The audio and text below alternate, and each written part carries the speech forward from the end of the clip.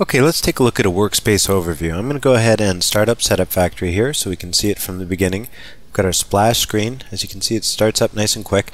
Now, this is the um, new project screen here.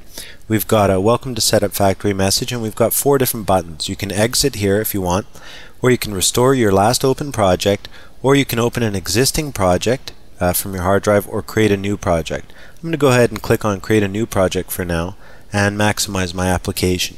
Now this is just a workspace overview and I encourage you to go through here and check everything out for yourself. Uh, let's take a look now at some of the basics. Of course we've got panes here and we can dislodge them if you like or undock them by grabbing them and dragging them around and we can redock them by snapping them into place.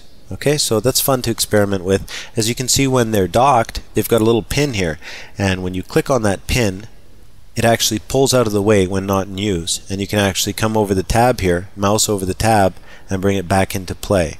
So you can pin them open or you can unpin them. Again too if you want to get rid of the pane altogether you can click on that red X in the upper right hand corner. Uh, we've got our archive and ex external tabs here. And uh, you can actually configure these any way you want. For example the columns. If you go to view columns you can actually choose which columns you see and which order they're in. For example, as you can see, if I move this out of the way, uh, the name and destination columns are in a certain order, and I can actually reverse that here by just using this little arrow here. And when we press OK, it's actually going to reverse those. See that? So you can actually go through and set those up any way you want. Um, the archive and external tabs, of course, the same thing here. When we go into the columns area, there's uh, specific tabs for each area and you can actually go through and reset your defaults with the defaults button or use the check all or uncheck all button to do that too. You can actually get rid of them altogether. As you can see on the left side here there's a bunch of panes and these are uh, you can expand them and contract them here. So for example uh, you can expand the ones that you use a lot like the actions one and the screens one for example and leave the uninstall contracted except for when you need it and it'll actually go ahead and open up and you get a scroll bar here and you can go through and and work with it. Again, this pane here is pinnable and unpinnable. Using this little pin here, we can auto hide it. So the task pane is gone. Now when I mouse over it, it actually pops back out. So that's quite handy. Uh, for example, if we're working with a bunch of uh, file names over here and we want to be able to see the details in the columns um, to get the tasks uh, thing out of the way, that's quite handy, and then we can just mouse over and get it back in play. And if we're going to be using it a lot, of course, we can repin it just by clicking that little pin. Now, the thing about this uh, video tutorial is obviously I can't go through every single aspect of the workspace, so I'm just trying to get the general stuff here for you. So I encourage you to go through after um, this video tutorial and experiment as well to look up in the docs, of course. And if you have any questions, just meet us in the forum. We'll be happy to answer anything that you've got. As you can see here under the View menu, you've got the toolbars, and you can actually choose the different ones. And under the Tools Customize gives you access to the same thing. So for example, if we go to View, Toolbars, and we choose File, you'll see this File toolbar popped in here where we can open and save files and etc like that. Let's go ahead and get rid of that and let's go to Tools, Customize and you'll see it's got the same option. If I go ahead and check File here we get the exact same menu, right?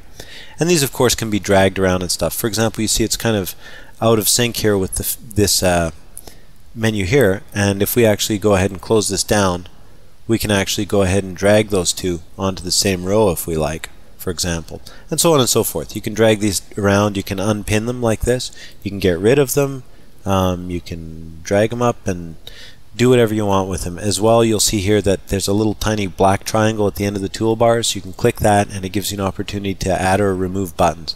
As you can see here, for example, if we wanted to get rid of the Help Contents button, we could click that and it would be removed from that particular menu.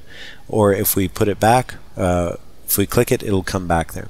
You can actually reset them here too. You can customize them and so on and so forth. So it's extremely powerful. You can create any type of workspace environment that you want and really turbocharge your productivity because I know for me, um, basically that's 90% of the game is having the application set up right so I can get things done fast.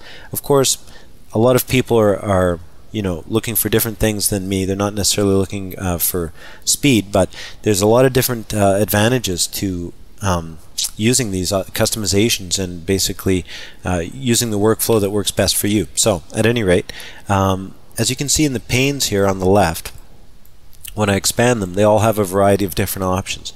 When you click on one of those options, it brings up a dialog typically. If you double click the title bar in these dialogs, typically they will maximize like that and they'll take up the whole screen. So it gives you an opportunity to get more room. For example, here if you're working in your actions editor, you might want to have it taking up this much room rather than this much uh, when you're creating scripts. So that's a basic overview, very, very basic overview of this extremely well put together and uh, streamlined workspace that they've offered us here in Setup Factory 7.0. I think the guys at Indigo Rose did a really nice job here and I find this particular workspace very productive. It's it's not geared towards eye candy or towards distracting things. It's just geared towards getting stuff done fast. Everything you need is right there, and you can set it up any way you want. Uh, like I say, if any questions come to mind about this workspace, please join us in the forum at www.indigorose.com, and we'll be happy to answer any questions you have. So that's the workspace overview. Let's go on to the next video lesson now.